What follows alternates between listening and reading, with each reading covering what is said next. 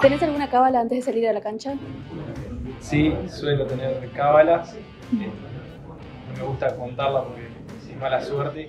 ¿Te gusta comer algo o tomar algo en especial después de ganar un partido como premio? Frutas tomar agua. ¿Qué no te puede faltar en la concentración? El mate. El mate tiene que estar. eh, las cartas. Soy también mucho de, de hacer un poco de grupo. ¿Y qué música te gusta escuchar antes del partido?